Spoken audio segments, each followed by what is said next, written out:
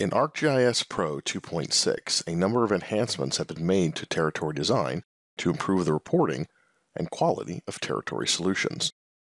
This video will walk through several of the improvements.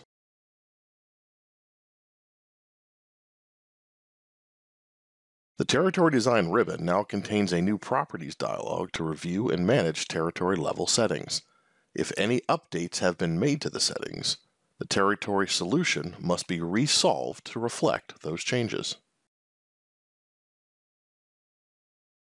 Here, we have made updates to the balance variable and compactness option. After applying these changes, the option to solve the solution has been selected. This will resolve the solution. The Territory Design Toolbox contains a new geoprocessing tool to create a detailed report on a single territory solution and a comparison report to review and compare two solutions. Here, I have selected two different territory solutions to create a comparison report. A PDF report is generated comparing the two solutions. The report lists all the territory solution parameters and general statistics for each territory.